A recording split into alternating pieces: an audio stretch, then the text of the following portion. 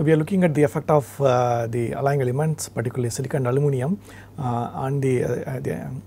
the, evolution of microstructures. So, if you look at uh, the sequence of microstructural formation in, in, uh,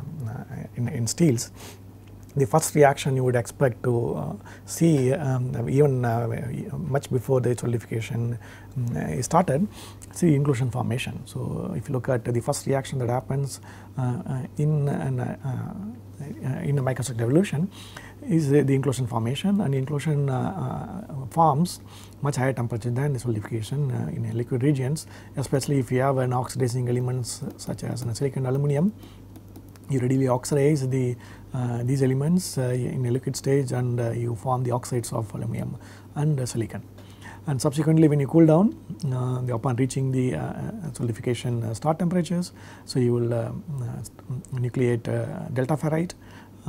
in, in, in, steels in even in advanced sites in steels uh, in a conventional advanced sites in steels like in a DP and TRIP and you will solidify uh, first into delta ferrite and subsequently um, the alloying elements either can go to liquid or uh, uh, can even partition towards delta ferrite and um, in especially in aluminum and other elements they will try to partition towards liquid and subsequently and solidification completes you know it becomes it undergoes during solidification based on the carbon concentration a peritectic reaction. And then uh, fully austenitic uh, microstructure develops and subsequently you know the based on the cooling rates austenite can either transform to um, uh, low temperature products um, or even uh, martensitic based on the cooling rates. So, so in this reaction if you look at it the first rate controlling uh, reaction for subsequent microstructure evolution is the inclusion formation. So, inclusion uh, can be engineered formation can be engineered uh, uh, to our favor. so, for example, if you have an the size controlled the inclusion that are formed and the inclusions are all also uh, act as a potential nucleation sites for the, the, uh, sub, the subsequent uh, phase transformation from austenite to room temperature. for example, the acicular ferrite is known to nucleate on the inclusions, uh, non-metallic inclusions present the microstructure. So, if you carefully control the, the inclusion density, size and volume fraction and you may also promote the nucleation of acicular ferrite uh, when uh, the austenite is cooling to room temperature. Uh, the, the nucleation of acicular ferrite uh, uh, is seen as an um, advantage yes because acicular ferrite gives the, the best uh, toughened microstructure in terms of properties having an acicular ferritic microstructure is beneficial uh, instead of having an, an a fully martensitic microstructure. So, by carefully manipulating the size and volume fraction and we can also change the, uh, uh the microstructure formation uh, when the austenite it transforms to any other low temperature products um, during cooling. So, the, the understanding nucleus nucleation formation mechanism is very important um, uh, to, to control the, the microstructure at subsequent uh, cooling to room temperature. And if you look at an, uh, an uh, inclusion formation mechanism, uh, the, as I said, the first reaction that happens uh, when weld pool solidifies inclusion formation.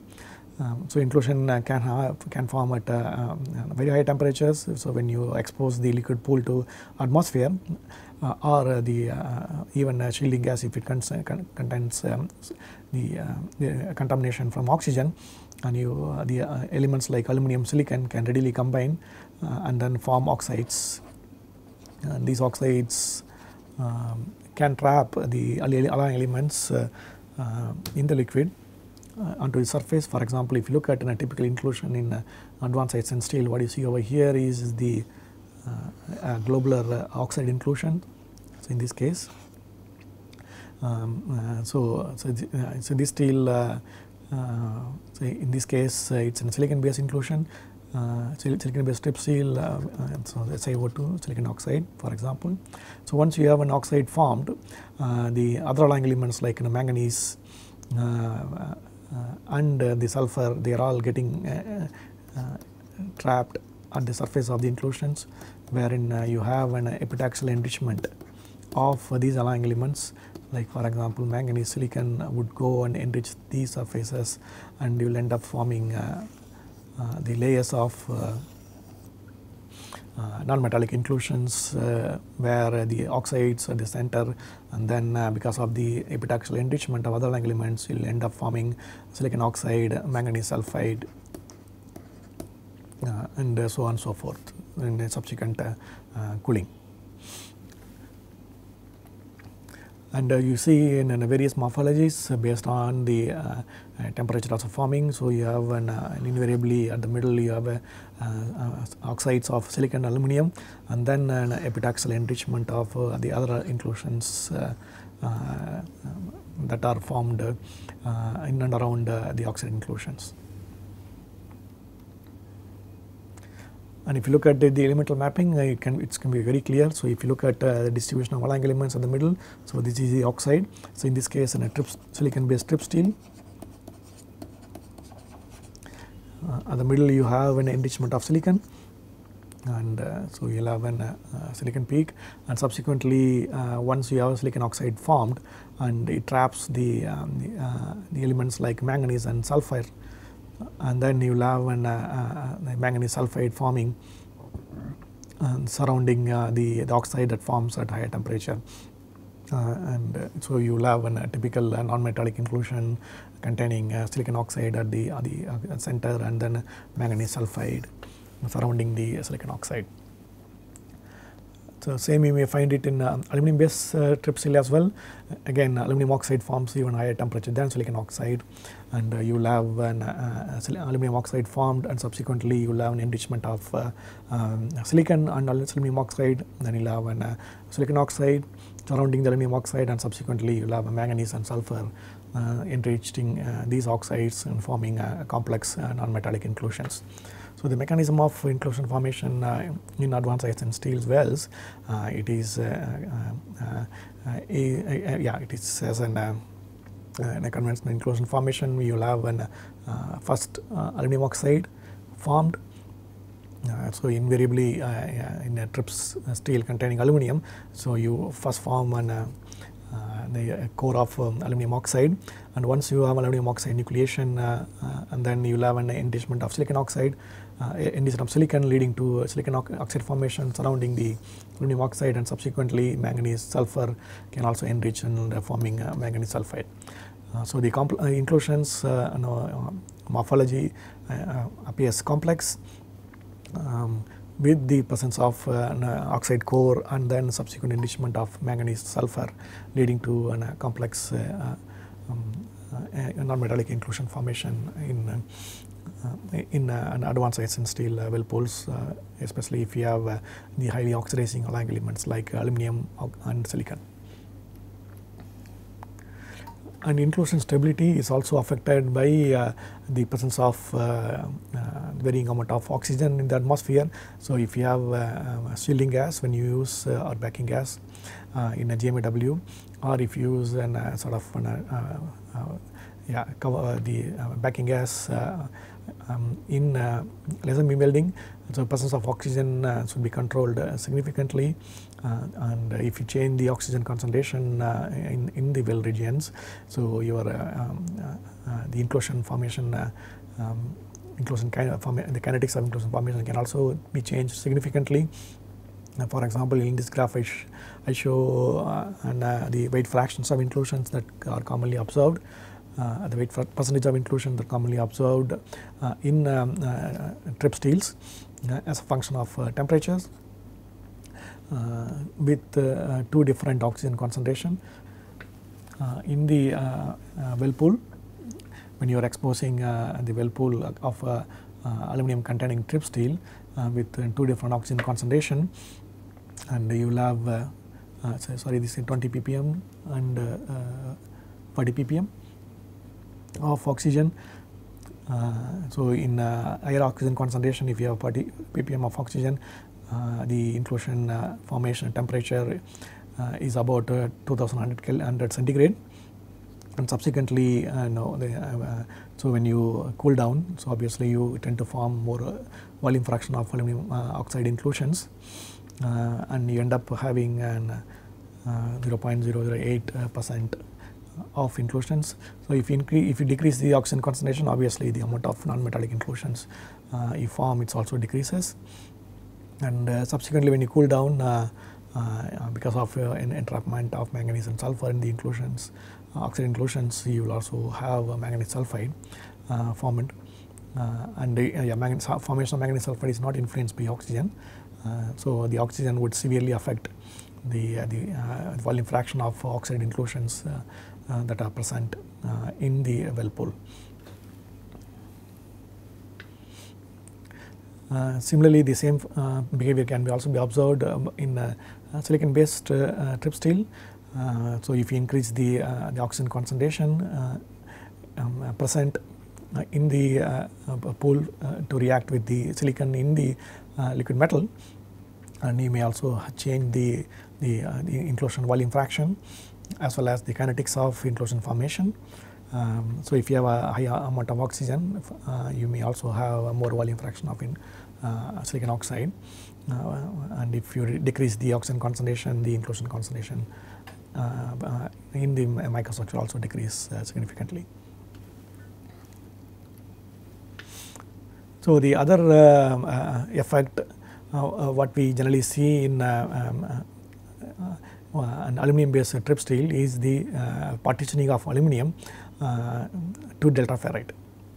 and this can be seen in almost all the welding processes when you either use a laser resistance spot welding laser beam welding and, or gas metal arc welding. And you see an stabilization of delta ferrite especially if you have an aluminum concentration uh, ranging uh, from uh, say 1 to 1.2 weight percent. And you will have uh, a distinctive uh, uh, layer of delta ferrite stabilized at the fusion boundary as well as along the grain boundaries when you have uh,